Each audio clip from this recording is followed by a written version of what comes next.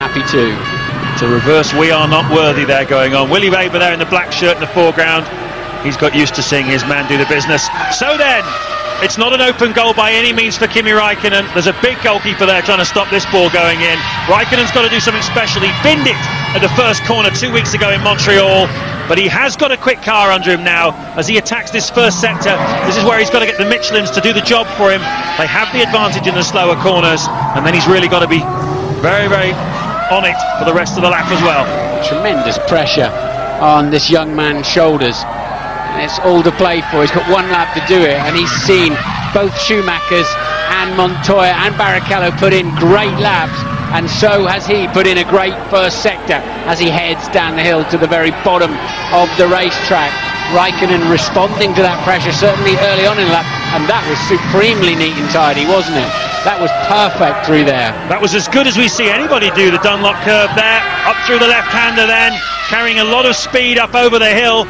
Kimi Raikkonen will have a display in his cockpit telling him how he's doing relative to Michael Schumacher. Second split time coming up then as we ride on board with the man who recently relinquished the lead to the World Championship. He wants it back here this weekend. He's dropped time to Schumacher though.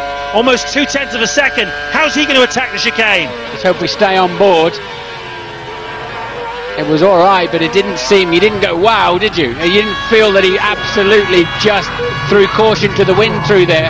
Raikkonen in the final corner. James, this is going to be so tight. There's nothing much in it then as he goes for the line. Raikkonen, can he do it? Yes, he can! What a brilliant finish to a brilliant, yes!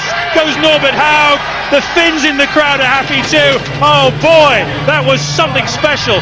We have to see that again the end of that lap because he had given away time to Michael Schumacher in the middle of the lap. But Mercedes and McLaren are on pole here in Germany at the Nürburgring thanks to a stunning finishing to the lap from Kimi Raikkonen.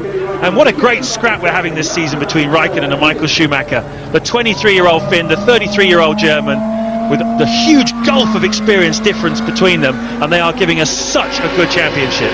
And they ever. And uh, what's special about the lap is he just hooked everything up. He's not fastest in any of the sectors or any of the, the three main speed traps around the circuit is Raikkonen. Doesn't feature the top of any of them, but he got the got them all. He got the three bells, as we say. Got all of his sectors really good, and he made the difference. That's a great pole position from the young Finn. And it's his first pole position in Formula One. So what a place to do it in front of all the Mercedes big brass. They've got their own grandstand here, let alone bringing a few people along. They've got thousands here, and they will be pouring in tomorrow in the expectation of seeing a titanic struggle between their man Kimi Raikkonen and the Ferrari for two Ferraris of Schumacher and Barrichello and a spread there as you can see between the Michelins and the Bridgestones and well you have to say that was a pretty intoxicating qualifying session tomorrow's race should be just as exciting Fantastic performance from Kimi Raikkonen. That, in fact, is McLaren's uh, first pole position of the year. So excellent.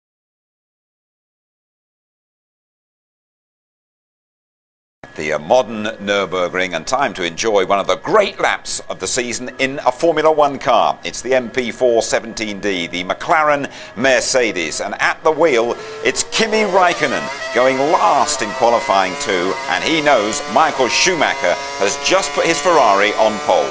You're on board with Martin Brundle. You're 23 years old, you carry the weight of McLaren Mercedes-Benz on your shoulders today. Michael Schumacher's just put in a stunner. You've got one lap to respond. 185 miles an hour heading down into turn one. Brake in a straight line. Down six gears into first for the hairpin. Scrabble it over to the right-hand side somehow because turn two is on you immediately. If you push too hard on the throttle, you'll run wide. The car opens up nicely. Turn three, you bring the car down nice and low.